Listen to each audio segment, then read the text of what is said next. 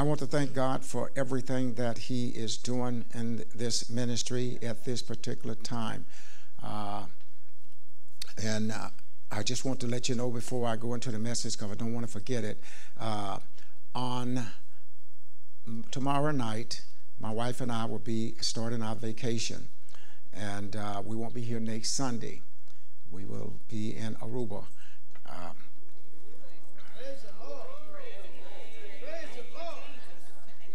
we will be in Aruba. Now, I want you to be at service more than you would be if I was here. I don't want you to stay at home because you say, Well, I don't want to hear nobody else. Let me say this so you understand it. Whoever speaks, they won't be me, and they're not supposed to be me. They're supposed to be themselves and let God use them in the manner that He's going to use them. And I want you to be here on time, start on time, get out on time uh, and respect the person that's speaking. So Thursday night service will go on. Dr. Brown is going to fill in for me on Thursday night. Uh, so we are going to be here. Dr. Tressa is going to be filling in for uh, the 8 a.m. And uh, Elder Willisboom is going to fill in for the 11, and then someone else they have already on the program for the 6:30. But church goes on. And I uh, want you to understand and see God is doing uh, some things in this ministry, uh, some dynamic things. We had a person last month that gave us a donation and said we could use it uh, in what way we can. And you will see in a few uh, days uh, what that donation we tr- into. And so all of these things is for the betterment of the ministry. And so learning how to locate your purpose in your problem. Now, as I said, if you don't have no problem, this is not a message for you. Uh, it's not a message. You can just leave because there's nothing you, if you don't have no problem, this won't help you. This is only for people that is like myself, have some problems. okay, if you don't have any, don't worry about it. Now, let me try to bring you up to date as, as to where we are. I give honor to Dr. Hardin and to the elders and to uh, our mothers and to all of you. Is there any visitors here this morning? I am glad to see Brother Maxie. He's been out for a while. Let's praise God for him. And I'm glad to see the Williams uh, back. Uh, uh, thank God for you all. They uh, living a little distant now, but um, thank you for being here. Appreciate it very much. And thank you for the introduction. Uh, that was good. I don't know, was that your first time? Yeah, well, you never get a second chance to make a first time impression. And you did well. Let's give him a hand. All right. All right, let me bring you up to date and uh, learning how to locate your purpose and your problem. Uh, this is lesson six, all of these on CDs. Now, I shared in part one uh, there are three reasons why we have problems. Number one, they cause us to trust God. Number two, they force us to pray. And number three, they are tests. In part two, I shared every problem has a promise, and I gave you four major things that are required to receive those promises. Uh, one is obedience, two is get rid of your worry, three is draw near to God, and four, provision is in the promise. In part three, I shared uh, how not to allow your problem to control you. A lot of times we allow the problem to control us, but how not to allow the problem to control you. And I share with you seven things that you can do to shorten your time in the problem. And that is number one, acknowledge the problem. Number two, take responsibility for your action. Number three, be willing to work. And number four, when you are wrong, admit it. And number five, forgive. Number six, control your tongue. And number seven, get rid of your pity pot. All right, in part four, I shared some biblical principles that would help solve your problem. These would help solve your problem. And they are temperance, number one. Two was discipline. Three was self assertion. And number four, the solution. You're part of the problem, you're part of the solution. Last week in part five, I shared with you some guidelines needed to help you receive the promise. Some guidelines. So, all I was able to get through last week was just one of the guidelines uh, that would help you get through. And then I gave you uh, seven things about faith. And I told you, number one, we already learned how we can connect ourselves in the problem and determine how we connect ourselves in the problem determines how long we stay in it. Then number two, I told you the children of Israel was in their problem 40 years. Jesus was in his only 40 days. Then I asked you what made the difference. Jesus knew how to apply God's word when he was tempted. The children of Israel made a career of their wilderness experience by refusing to obey God's direction. And number six, I told you, uh, 400 years they stayed in Egypt and was still Egypt was still embedded in their heart.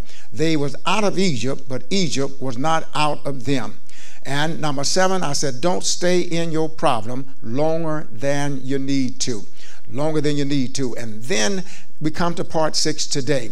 I'm going to continue to share guidelines with you that you need uh, to understand. Now, think about one of the greatest guidelines we have right now, something we can't see, but we can hear it. And because we can hear it, 99% of us obey it. Sometimes uh, uh, uh, when we are using our, uh, what, we, what, I want to say the thing is that speaks from the sky, uh, navigation. But uh, when we're using that, we, we don't try to see who up there. We don't try to see where the voice came from. We just follow it. And if you go by the place, uh, the Tory turn, it said beep, beep, beep. At the next week, turn around, come back. You obey it if you want to get to your destination. Now, sometimes it sends you the long way, and if you're familiar with it, you'll go a different way. But it'll recalculate that way, reset. Now, you obey that. You don't try to figure out how in the world does she know where I'm going, or he, or whoever. Normally, it's a woman talking. It got a voice of a woman. I guess if they put a navigator on there and then a man start talking, somebody get a little mad. You can't tell me what to do. But but it's the voice of a lady. And it takes you where you want to go. Well, guideline, that's a guideline. And thank God for it. Thank God for it. It'll make it easier. It don't even let you run by the place. When you get there, say you have arrived. You have arrived. Now, all of that come from technology that God have given to man. But God already had all of this stuff and knew all of that before you got in your car. And, and before we got this, uh, there was time that you didn't know where you was going, but God guided you. I remember 40 some years ago uh, when my wife uh, came, from, we was living in Arkansas, and she took a uh, went to Sacramento. No, we were living in Long Beach, and she went to Sacramento with the children. I went to Sacramento to be with my wife on that Friday night. They had been up all that week. And when I got off the freeway, I did not know which way to go. It was dark. And I said, Lord, get me to my sister's house where my wife is. And the Lord just spoke to my heart go here, turn there, and I end up at her house. When I got ready to leave Sacramento in the daytime, I couldn't find my way back to the freeway. I stopped mad somebody. But God brought me in at night without asking anybody, just following his direction. Now I should have did the same thing on the way out. But I didn't. There was a distraction. So we're going to learn today, uh, hopefully we will learn today, uh, is how to follow guidelines. The first one I gave you last week was faith. Guideline number two is diligence. Help us say diligent. Diligent is characterized by steady, earnest, and energetic effort. It have to be consistent. Diligent is like an intense laser beam focused on a specific goal. Now, some of you probably remember we used to have magnifying glasses. The closer you are to the object, the larger it gets. But you can see it better. But if you want the power we used to get in the sun and pull it back and let it beam on that thing until it burned it up. So the smaller it get is more powerful. And the closer you get to it, you can see things. But just because you can see things, you don't may not use the anointing. So when you use the anointing, God brings it back, and the further you get back from God, so you can hear God and depend on God, and not try to read and understand what you can understand yourself, then it's more powerful. Lord, I need some help here. They missed the whole thing. So Philippians chapter 3, verse 12 through 14 says, Not as though I've already attained, either was already perfect, but I follow after. If that I may apprehend or lay hand on that for which also I am apprehended of Christ, or Christ have laid his hand on me, and I do forget those things which are behind, and reaching forward for those things which are before. I press towards the mark for the prize of the high calling of God in Christ Jesus. There's something that you got to press for. You got to make an effort to do it. If you don't make any effort, it doesn't happen. You can say, Well, I'm just a hoping and a praying. Sometimes you got to put some legs to your prayer. You got to get up off your knees and start doing something. Not just sitting there waiting until my Lord, I'm waiting for you to do this, and, and I, I want more money, God, and God give you some extra time on the job. You say, No, I ain't working no overtime. Okay. So you just missed your blessing. You just missed your blessing. Now, Paul focused on the prize of the high calling of God. What we are focusing on, what gets our attention, or what time is more often. Now, think about this. Whatever you're focusing on should be the thing to get your attention more often than anything else. Paul counted the riches of this earth as dung, that he might please God who called him to be a servant. How diligent are we to our service to Christ? How diligent are we in our relationship with our wives, in the provision with our husband, in the protection for our family? Diligent is not an option, it is a command of God. Diligent is vital, very vital. It's the guideline our, out of our problem. So if we don't use diligent to get us out of our problem, you're going to still have the problem. Proverbs 4 and 20 to 25. Solomon said, My son, attend to my word. Incline thine ears unto my saying. Let them not depart from thine eyes. Keep them in the midst of thine heart. For they are life to those that uh, find them, and health to all of thy flesh.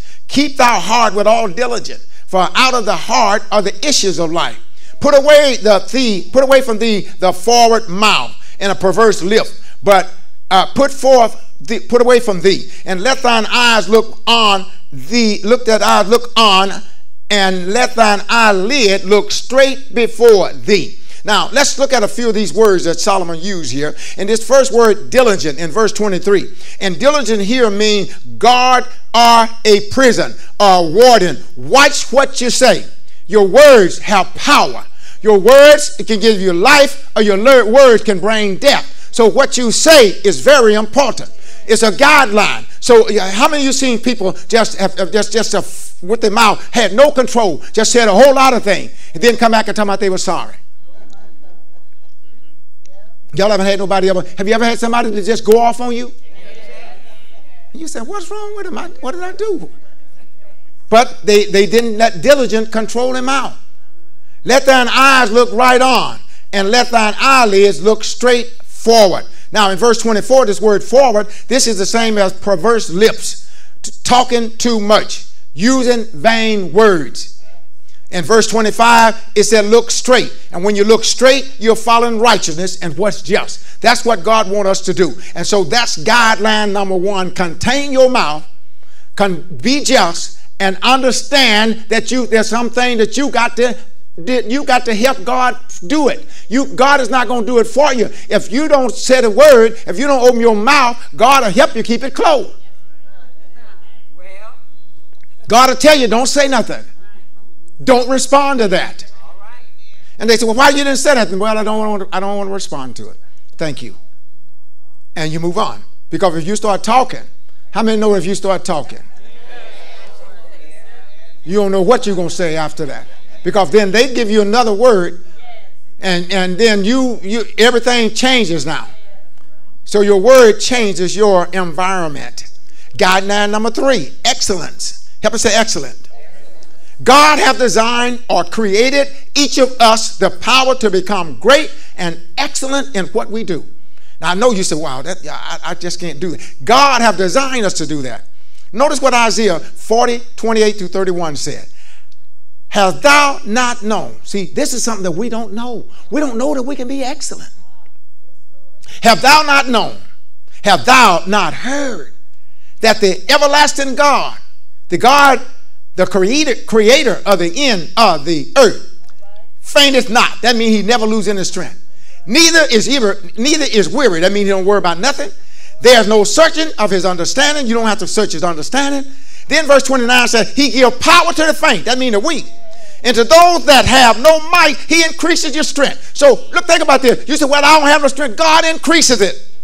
He increases your strength. They shall mount up with wings as eagles, and they shall run and not be wearied, and they shall walk and not faint. God, this is what did you not know it? This is what you don't know. Look at somebody and tell them you don't know who you are. You don't know the power you have until you tap in the power of God. Glory to God. Glory to God. Now, now, now, now, now notice what it said. In, in, I gave you verse 29. Power from an unusual root word. This, this is an unusual root word from the Hebrew. It means produce, ability, might, strength, substance, and wealth. You have the power to get wealth. You have the power that you don't understand to get substance. You are, have more strength than you think you have. You're not a pushover. Your God didn't make us and save us and give, give us His Holy Ghost for us to be pushover. You're not a pushover. You are a man. You're a woman. Stand your ground in God.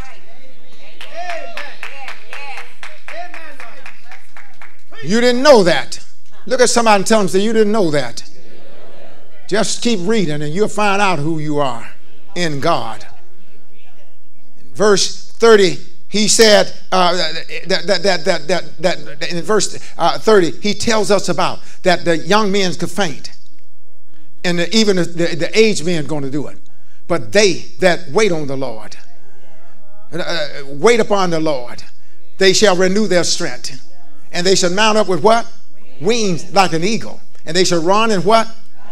and walk. Now, now, now, when you're walking, don't faint. Here's what it was telling you. It said, uh, uh, uh, they, you won't fail. You won't stumble. You won't stagger. You won't become weak when you trust in God. Now, this word wait in the Hebrew has a particular meaning. In, in, in, um, in the Greek, it means to bear under. Hupomone, bear under. But in, in the weight in the Greek is bear under. But in the Hebrew, it means twist and tie up. Now, what he's saying, wrap around. Help me say, wrap around. If you're waiting on God, he said, wrap around and hold on. That's what it means. Wrap around and hold on. So, whatever you're going through, wrap yourself around God and hold on to God, and God will bring you out. Some of you, and most of you are not from the country, but in the country, uh, they would take the tomatoes, and, and when they plant a tomato, they would put a stick beside it. And they would put, take the tomato when the van come up they would take the and, and that, that, that, tomato would come up and it would wrap itself around that pole. So when the tomatoes get on it it wouldn't pull it back to the ground. It would wrap around that pole and hold on. Now that's what god wants us to do. Wrap around god. He's not going to let you go. I don't care if the wind come. I don't care if a storm come. That tomato plant stood up it was as strong as the stick that you put into the ground then there's another little plant that we call it the creeping Charlie. You see it every day if you drive, and you don't even know what why. You see how, how can this little plant grow up on the cement wall and goes all the way up there and don't fall off? Because it cling to the wall, and you have to pull it off. And when you pull it off, it left its print on that cement. Have anybody seen that? Well, you ought to hold on to God the same way. Wrap yourself around God and hold on to Him and wait on God. That's what waiting means holding on and looking for hope and waiting for God to move. Believing him for the promise. Notice what David said in Psalm 16, 1 and 3. He said, Preserve me, O God, for in thee do I put my trust. O my soul, thou hast said unto the Lord, Thou art my Lord, my goodness, extend not to thee, extend it to thee, but to the saints, extend not just to me only, but to the saints that are in the earth, and to the excellency in whom is all delight. So David said, Lord, just don't give your strength to me, but give it to the saints that's in the earth. So David prayed for us while we before we got here. Before we got here.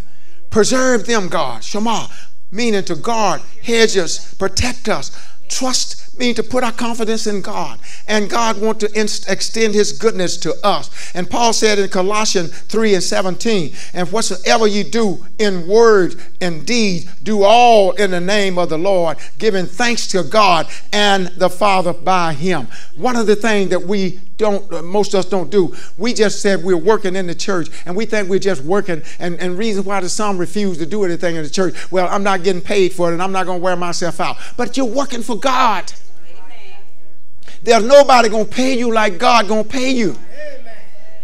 You may think, see, God don't pay on every first and 15th and every other Friday. God may wait a year or two years.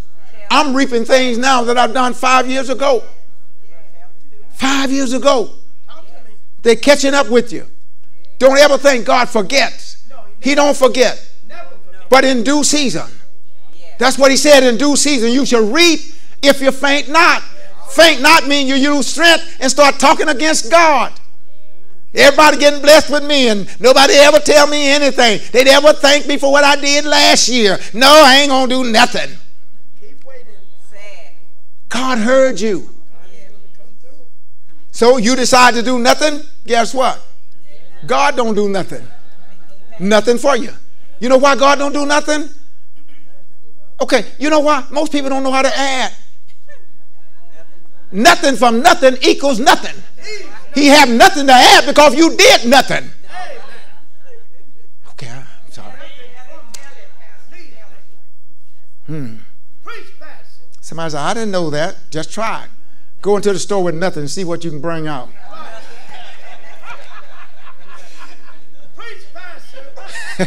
it ain't hard, just a little math.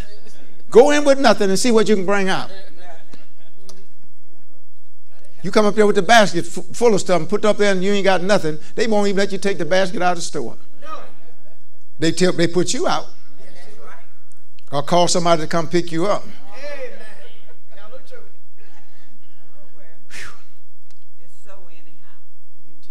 Stop wishing for your job to be easy. Let me tell you why to stop wishing for your job to be easy. This is a revelation for some, but smart folks already know what I'm going to say. Stop wishing for your job to be easy. Because if your job is easy, anybody can do it, and pretty soon you won't have a job. Okay, I'm sorry. Huh? Do that make sense? If your job is easy, anybody can do it. So, you won't have a job because they can get anybody to do it. Get something that they, somebody got to train to do.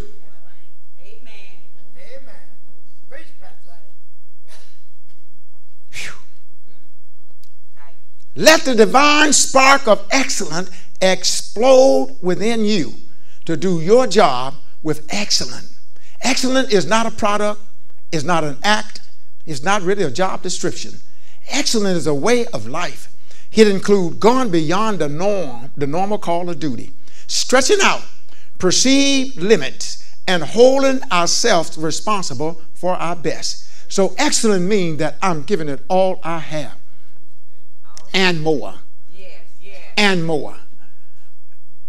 Let me get you to understand something. The average person never be, never enter into the world of professional things because the average person is just one step above below average. So you want to be above average. Those are the people that make it. The people that take that extra step. You know, it's the person that that that that have is in a race and they're running and look like that they can't run no more. And all of a sudden they get a second win. Has anybody ever got a second win? You know, that second win is that win that you get is better than the first one.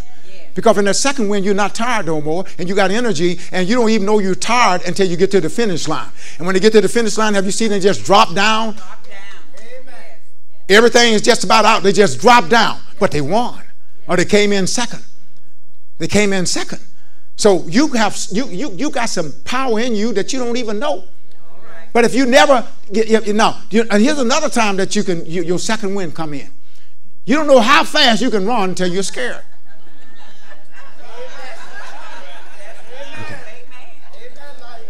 You don't know how fast you can move until you're scared.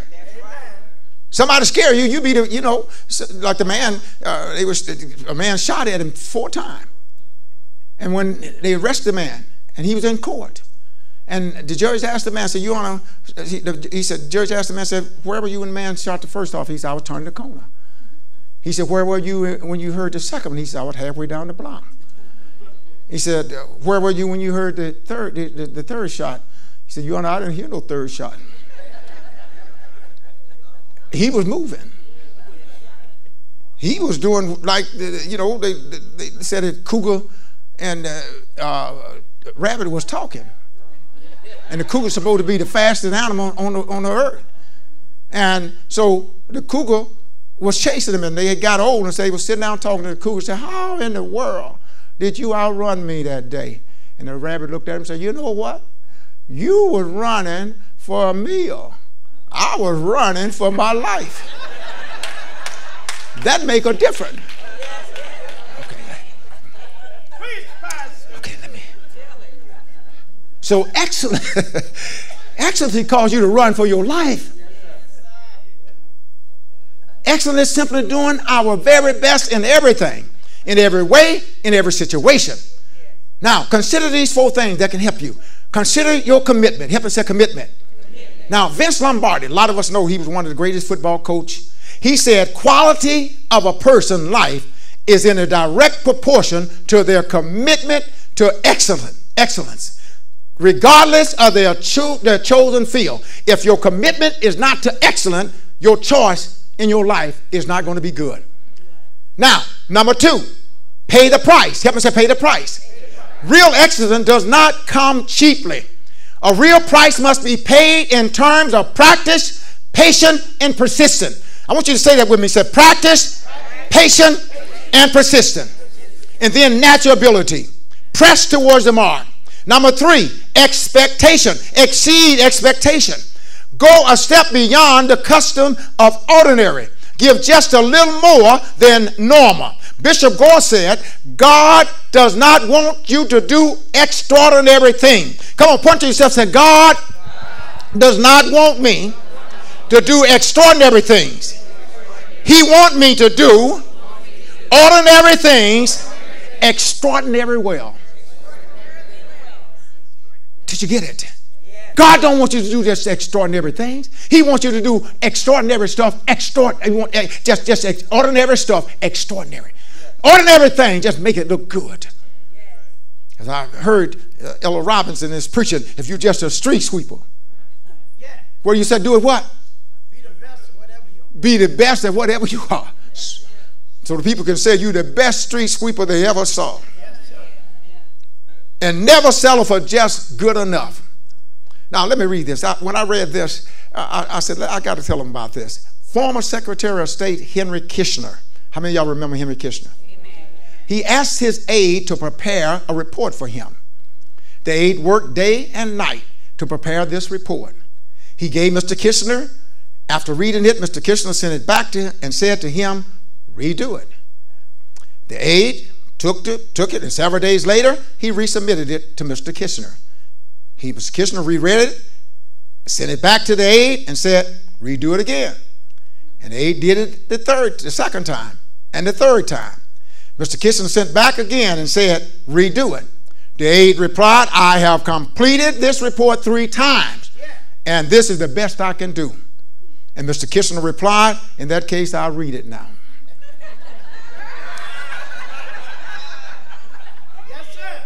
Do you understand? When you're doing the best you can, and you go that extra step, the man said, the man said, This is the best I can do. So Mr. Kissinger said, I'll read it now.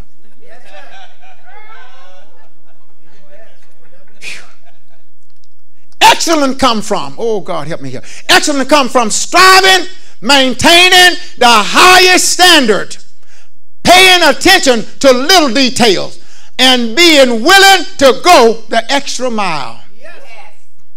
Guideline number four knowledge. Help me say knowledge. Second Peter chapter 1, verse 4 through 8. Wherefore, whereby are given unto us exceeding great and precious promises, that by these we might be partakers of the divine nature, having escaped the corruption that is in the world, lust. And besides this, give all diligent. Add to your faith virtue, and to your virtue knowledge, and to your knowledge temperance, and to temperance patience, and to patience godliness, and to godliness brotherly kindness, and to brother kindness charity, which is love. For if these things be in you and abound, they make you that ye shall neither be barren nor unfruitful in knowledge of our Lord Jesus Christ. Now think about these, these seven things that you put in you. This is what you got. This is a guideline. Knowledge is number one because all of these things spring from knowledge. And, and the Greek word for knowledge is genosis. Genosis. And, and, and that word genosis, it, it, the power of knowing. It's the power of comprehension. It's the, it, it's, it is the power of articulating and, and it's subjected to comprehension. Now, it speaks of what we know, both theoretical and experimental. You got to, there's something when you know it, you're comfortable with it. If you don't know it, you're, you're uncomfortable. So if I would call on somebody to come up here and teach this morning and say, you come up here and say, you're nervous because you're something you don't know. You're afraid. Your, your fear is in you because you don't know how the people are going to take it. I may make a mistake. I may mispronounce the word, and there's so and so, so and so's here, and they may judge me. But that's because you don't know it. But if you know it, if you got the experience and you know it, you're not afraid to say it. In 2 Peter 1 and 2, he said, Grace and peace be multiplied unto, unto you through the knowledge of God and Jesus Christ. If you want God, the knowledge to multiply in you, get acquainted with him. Get acquainted with him. And then listen to what he says. Listen to God. Now listen, listen, listen, look, look, look. At, and then Paul goes on to say, Paul didn't, did, did not want the saints at Colossians to be just knowledge, to have knowledge. No, he wanted them, and, and Paul used his word uh, know. And when he used his word know, see, I told you his genasi, it means to know. That's what uh, that, that's the Greek word, genasi, mean know. But now watch what Paul did. Paul said to them, For this call we also, since the day we heard it, do not cease to pray for you and desire that ye might be filled with all knowledge of his will in all wisdom and spiritual understanding. So the word knowledge here is not genosis, it's epinosis. Epinosis means this is extra. So you don't want to be just a normal thing. You want that extra knowledge. You want to know a little bit more about this word than the other person know. Because if you know more about it, you can go a little further. And don't you ever think don't ever think somebody is not watching you. Somebody you may not even know is watching you. Amen. They're watching you. Amen. And it just came to my mind and, and, and about my daughter. Jackie got two awards. The, what the Golden Apple? One of the highest awards in the school. Because she went a little further. Volunteered a little more. Stayed a little longer. This is what this is how it happened. She didn't know and wasn't working for that. It wasn't even in her mind. It Wasn't even in her mind. But God knows. So this word epinosis, which means super knowledge, full of discernment, full of knowledge of his will. And, and, and, and, and, and, and watch this. The, the wisdom. We need wisdom and knowledge. Now, wisdom is the word sophia in the Greek. And what it means is it, it, it, it's, it's the word that means is translates Sophia, but it means deep knowledge, natural, spiritual, insight, hidden knowledge that God gives us. Wisdom comes from God. Remember, Job put in a search, said, Where do wisdom come from? Lord, I need some help. Y'all remember Job did that? He said, Where do wisdom come from? And, and, and, and there was a long legacy. He said, Don't come from man. It don't come from what is grown. It don't come from your surrounding. Wisdom come from God. Heaven said wisdom come from God. And so if you want wisdom, ask God. No, don't go asking a professor. Don't go asking somebody else. Ask God because wisdom come from God. Hallelujah. Hallelujah. Wisdom is natural and moral insight. His research a hidden thing. Then knowledge is a natural and moral thing. And knowledge, and knowledge and wisdom is the arrangement of understanding. Because without knowledge and wisdom, there would be no understanding. If you understand something, you can teach it because wisdom gave you the ability to catch it. Knowledge kept you had it in your head while you know it. When you know it, you can teach it. So the arrangement of wisdom and knowledge is teaching. And all you're getting, getting understanding. God help me here. So if you can't teach, read. Study to show your self approval. That's what it said. It didn't say to show somebody else, show your self approval. It's no need to read the whole Bible and you don't understand the first verse. You don't have knowledge of the first verse. Take that verse, read that verse. Get your good Bible dictionary. Get your uh, uh, Holman. Uh, uh, get your the keyword Bible. And uh, get your one of the one that do some translation for you. Don't just read it in the English because the Bible was not written in English. It was written in Greek and and, and Aramaic, Aramaic, Greek, and Hebrew. Go back to the etymology of the origin of the word. Study it. Study the word because a word is very important. It's very important. I've said this thousands of times. One word, one word in a sentence, and a group of words make a sentence. A group of sentences make a paragraph, and a group of paragraphs make a story. But if one word is off, the story is off. If the punctuation is off, the story is off. Oh, Jesus. Don't shout me down because I'm preaching good. The word understanding, help us understand it. And I want y'all to understand, I'm not using these Greek words in Hebrew. I'm just trying to get you, I'm teaching this. I'm trying to help you to get over. I'm trying to give you some guideline. And sometimes people go, I don't understand the word. Well, get the Bible to help and help understand it. That's why you don't understand, you don't study. And I'm teaching you, I'm trying to help you get through your problem. I'm trying to get you to locate your problem, your purpose, and your problem. I want to help you get out of it. I'm not trying to hurt you. I'm not here to hurt you. Many times you get the shot, you get a shot. A shot don't feel good but they're trying to help you. Sometimes when they get a children shot, they cry. And the doctor asked me what I'm allergic to. I said, shots.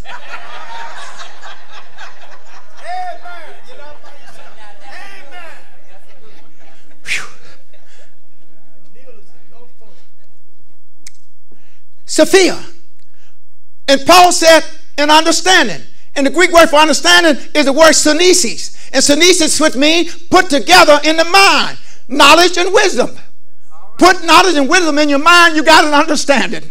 That's all it is. Sounds simple, but I'm telling you it's not. You know it's not. Because if you put knowledge and wisdom together in your mind, you could pass every test. There ain't nothing hidden in the test. You, you know it if you got understanding about it. Some people come out and say, oh, it was nothing. You would say, oh, God, I swear on that. I don't know, did I get this right or not? Now, arrangement. The arrangement of wisdom and knowledge so you can teach what you know. Wisdom and knowledge will cause you to hear from God the enemy's secrets. That's what wisdom and knowledge will do. Yes, the king was going to try to ambush the children of Israel.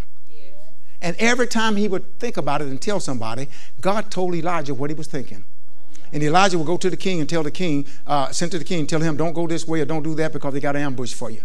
And so the king of the Syrians said, somebody in here is, is, is letting out my secret. Yes, somebody, who, who is here is, is betraying me? And the man said, ain't nobody betraying you. He said, there's a man in Israel that God speaks to and tells him all of your secret tells them all of your secret. And in Deuteronomy, and I'm through with that one, giving you the next guideline. Deuteronomy 29 29, you ought to write this down. It said, a secret thing belonged to God. Kepler said, a secret thing belonged to God.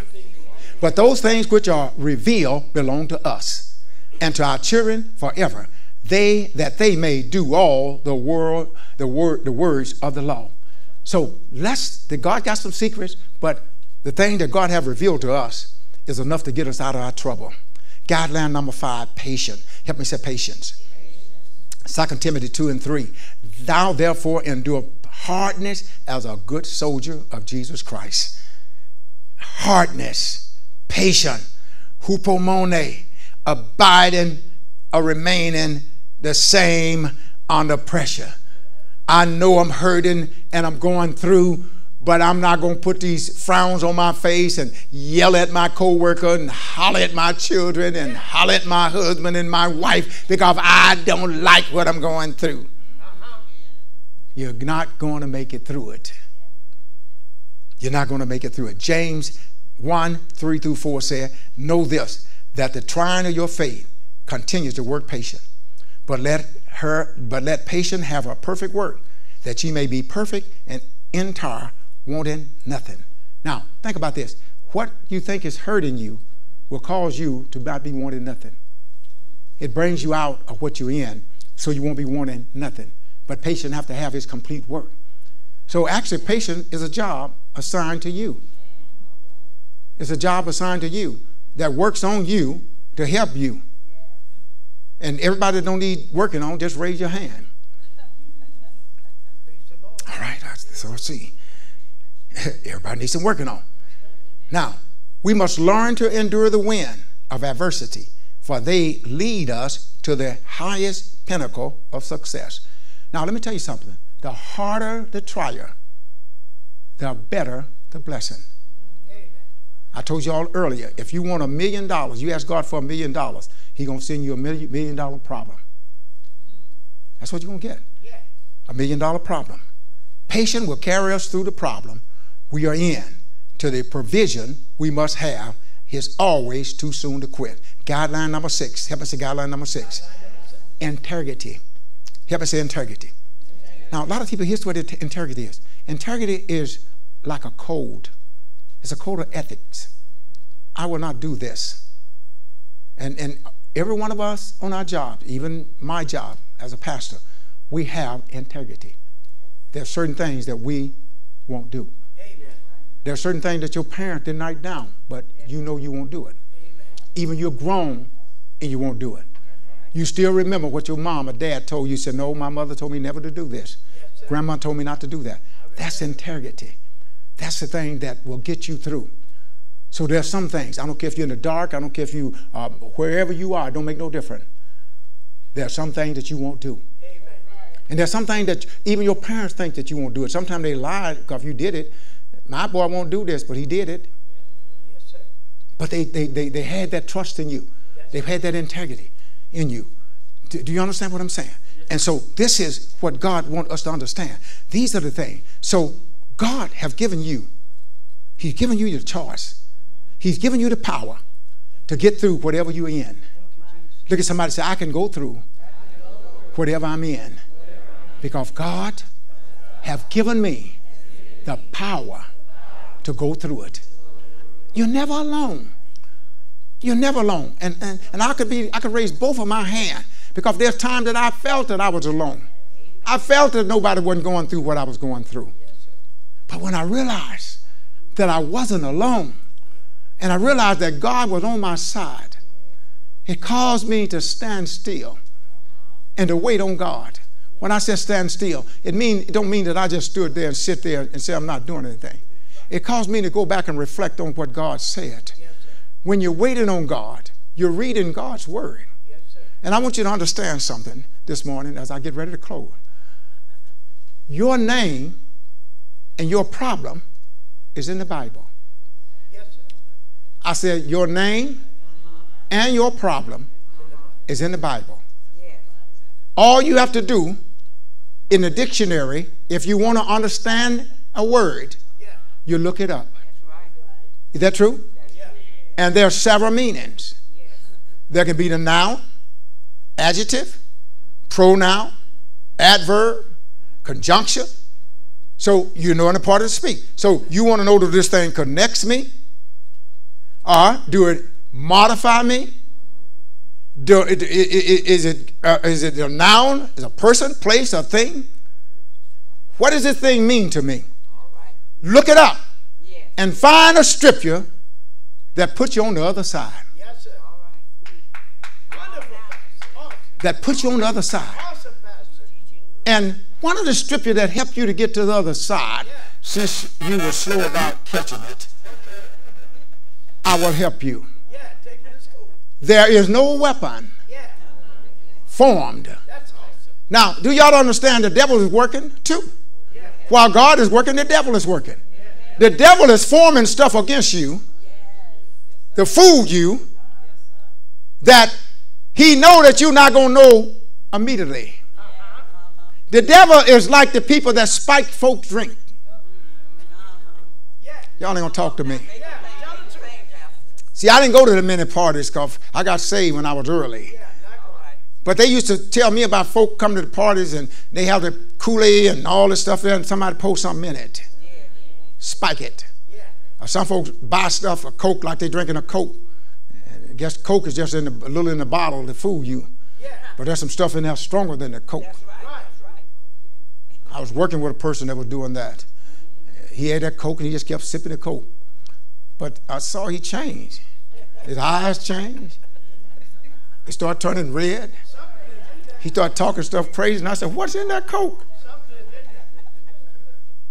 Oh, it ain't nothing, Reverend. but it was something else in that Coke. So the devil will spike stuff in you, slip it in. Slip it in, form it against you. He know what you he he see the devil knows, but he don't know everything. But he know what you like and what you don't like. He know all of us have a trigger. Right. The trigger is what the devil want to pull. He want to push you and force you to that trigger. If it was cursing, he want to force you to curse somebody. I will not ask. I would not dare ask you to raise your hand as since you've been born again, baptized, filled with the Holy Ghost, the mighty Holy Ghost and fire,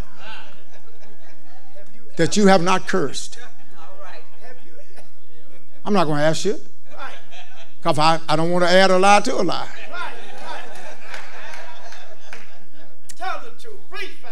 But God. Help me say, but God. God was standing by. And, and, and, and when you almost was ready to explode, the Holy Ghost said, No weapon that been formed. This is something been formed against you. No weapon formed against me should what? Is not going to take advantage of you. Look at somebody say, I have a retardant in my body. It's the Holy Ghost. It keeps me from slapping a person. Y'all, y'all, y'all I'm, I'm, I'm going to talk to this side because y'all don't understand. Is there anybody here that understand what I'm talking about? It keeps me from slapping a person and cause me to go on my knees for him. I said I wasn't going to go on my knees. I'm not going to pray for you no more. Told that boy, that girl, your son, your daughter, I'm if you do it again, I'm never going to help you again. So if you get in trouble again, I'm through with you. Don't even call me. But they got in trouble again. I just. Is it, it, am I talking to some real folks? If, if, if, you're real, if you're real, raise your hand. I know I'm. Not, you told them I'm not going to help you anymore. Don't even call me.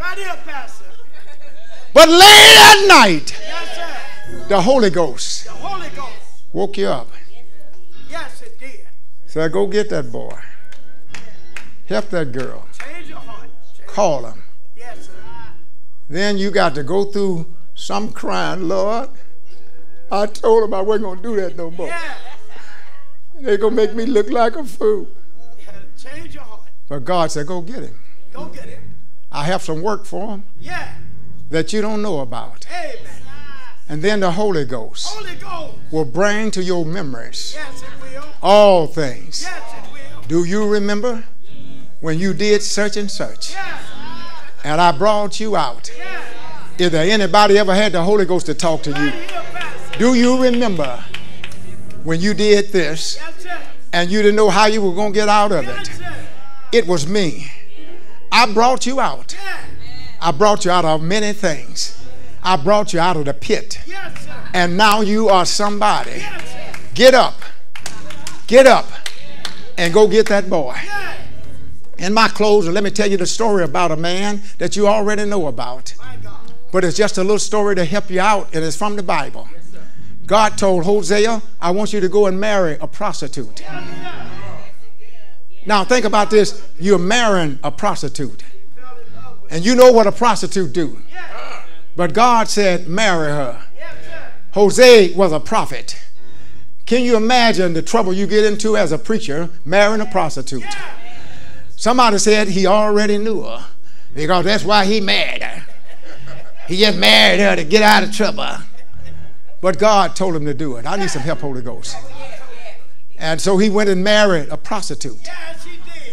And she kept on doing what a prostitute do. And she came and she was pregnant. And Hosea, the Lord spoke to Hosea and said to him, Hosea, says she's pregnant. Yeah. And the baby is not yours. Right. Lord, have mercy. Have mercy. The baby is not yours, Yours. but I want you to stay there. Yeah. Next child came. And he said, Hosea, I got some more news for you. That one is not yours either. Jesus, I wish I had some trouble, some prayers here. So Hosea said, I can't take it no more. And God said to Hosea, said, I want you to understand something. Said, there's nobody on the earth that understands what I'm going through. He said, I'm giving you an example of what Israel is to me. He said, Israel have committed whoredom among the nation, and yet I love them, and yet I haven't forsaken them. He said, Go back, and I want you to get Gomer one more time. And he got Gomer again, and then there was a third child. He said, That is your child. That's your baby. You belong to me.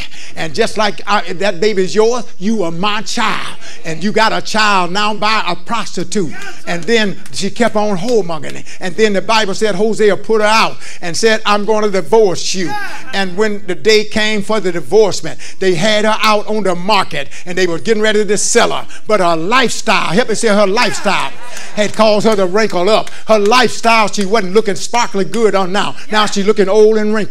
And nobody hardly wanted her. But God said, Get up. Get up. Do you know sin will make you look old and ugly and nasty? Nobody want to have nothing to do with you. I don't care. You got yourself fixed up, painted up, but if you keep committing sin, sin will mess you up. And the auctioneer was auctioning her off. And nobody, heaven said nobody, wanted to buy her. But God told Gomer, said, I want told Hosea, said, I want you to step up and get her Yes. and take her home. And he, whatever he bid it, the auctioneer hit the thing fast because he couldn't get rid of her fast enough. And he brought her home. Yes, he. I want to tell you that you are almost at your end of your blessing. It's just one more bid. Yes, sir. One somebody you're leaving out. You're leaving out that person that you don't like. You're leaving out the person that did you wrong. You're leaving out the person that said something about you years ago. And God's saying you got to forgive that person so we can move on. I want to get you to the other side. And the only way I can get you to the other side is by you forgiving that person. And if you don't forgive that person and you holding them in the heart, that person is holding you. They're keeping you from that next step. And you don't even understand it. Stand your feet, everybody.